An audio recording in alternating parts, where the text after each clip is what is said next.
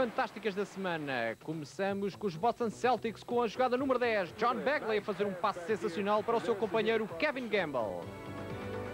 A jogada número 9 é também do jogador dos Boston Celtics, Ed Pinkney, que aqui é engarrado, mas incrivelmente a conseguir marcar.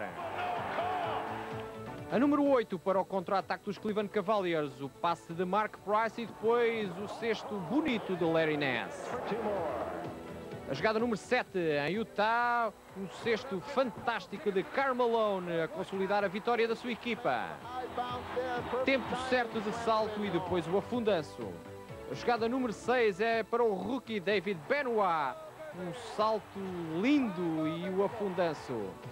Mas quando os cestos são alley-oops, ninguém o faz melhor do que Michael Jordan do Chicago Bulls. Vejam aqui a repetição.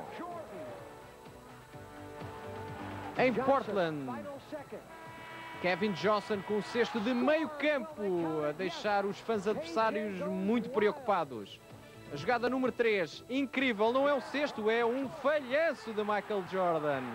Não é muita vez que vimos isto acontecer. E a jogada número 2 é para Michael Jordan, mas desta vez é sério. Ele vai até ao fim e consegue terminar a sua ação de costas para o cesto. Finalmente a jogada número 1 um desta semana, o contra-ataque da equipe dos New York Knicks com Mark Jackson a fazer uma assistência espetacular para o seu companheiro. Para a semana, fique connosco aqui na Magia da NBA.